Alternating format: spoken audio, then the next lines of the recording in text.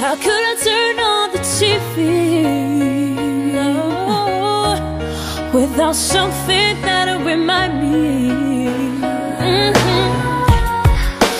Was it all that easy to just put?